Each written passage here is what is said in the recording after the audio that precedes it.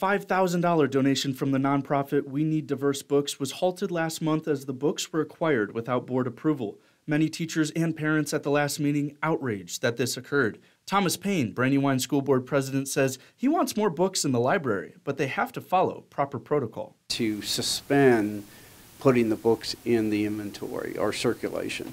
So right now, we do have the books. We have not um, sent the book books back or refuse the grant in any way, shape, or form. Obviously, we're excited about grants. It's free money or free material. On September 25th, the school board unanimously voted to allow parents the opportunity to choose if their kids read what have been deemed sexually explicit books.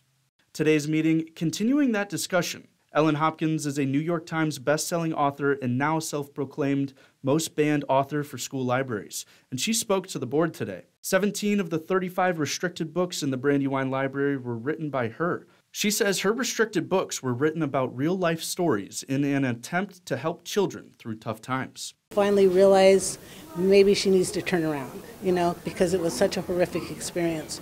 And again, my goal is to try to keep other kids from putting themselves in that position, and hopefully they read the book and they will never want to be there. Hopkins says kids nowadays are exposed to worse materials through cell phones and internet access. Let kids read the books that they need to read. I, you know, kids are way more sophisticated than a lot of adults want to give them credit for, and books are a safe space. They're a safe space to explore difficult situations, safer than movies, safer than video games, certainly safer than their cell phones. I'm John Paul. Thanks for watching. Here's another video for you to watch. Also, please take a moment to subscribe to our channel.